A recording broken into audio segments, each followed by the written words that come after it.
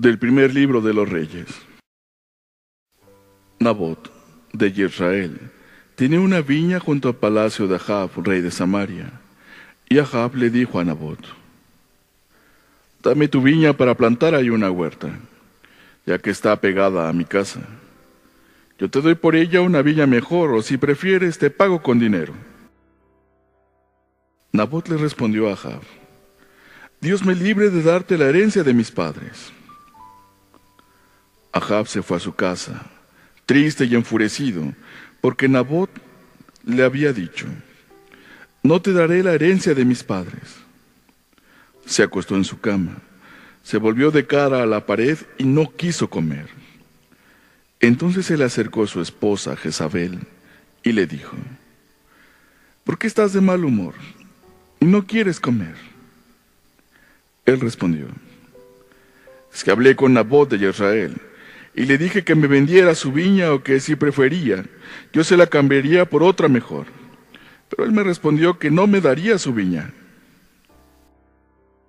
Su esposa Jezabel le dijo, ¿no que tú eres el rey poderoso que manda en Israel?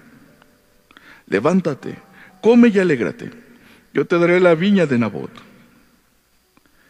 Entonces ella escribió unas cartas en nombre de Ahab las selló con el sello del rey y las envió a los ancianos y hombres principales de la ciudad en que vivía Nabot. Las cartas decían, promulguen un ayuno, convoquen una asamblea y sienten a Nabot en primera fila. Pongan frente a él a dos malvados que lo acusen diciendo, ha maldecido a Dios y al rey.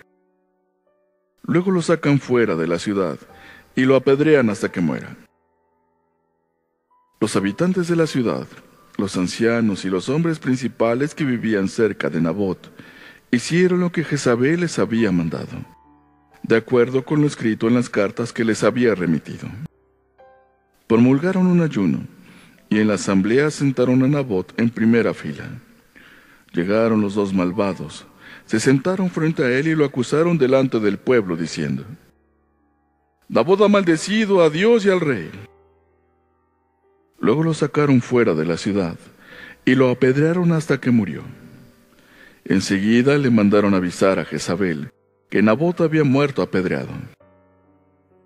Cuando Jezabel supo que Nabot había muerto apedreado, le dijo a Ahab, Ve a tomar posesión de la viña de Nabot de Israel, que no quiso vendértela, pues Nabot ya no vive, ha muerto. Apenas oyó Ahab que Nabot había muerto, fue a tomar posesión de la viña de Nabot de Israel. Atiende a mis gemidos, Señor. Señor, escucha mis palabras, atiende a mis gemidos. Haz caso de mis gritos de auxilio, Rey mío y Dios mío.